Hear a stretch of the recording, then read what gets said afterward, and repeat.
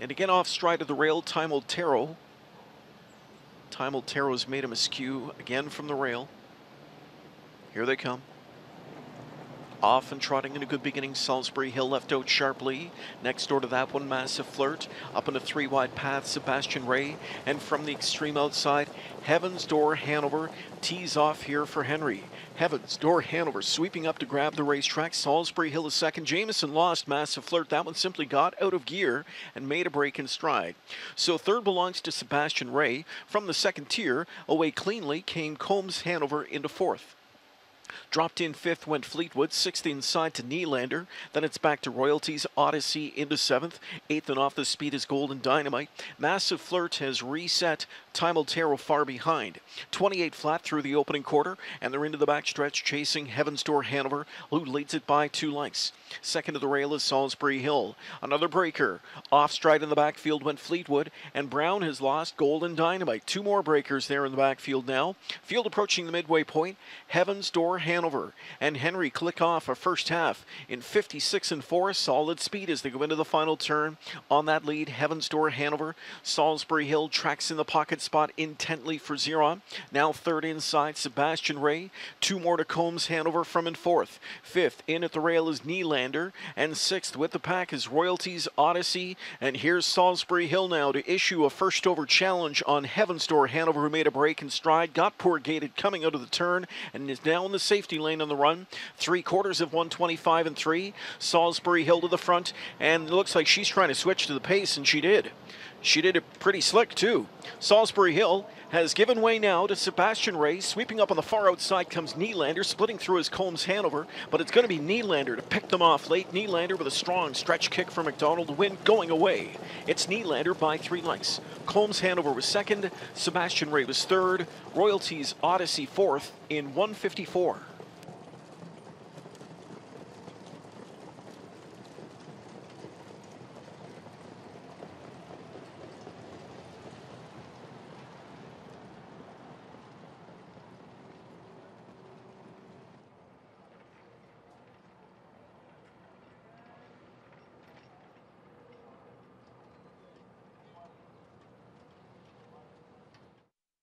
Fourth race in the books, and Nylander takes it here, joined by winning driver James MacDonald, who guides this three-year-old trotter to the victory in his season debut. And James, uh, here's one that uh, caught a few people's attentions last year. Um, I'm sure the connections have some high hopes for him coming into this season.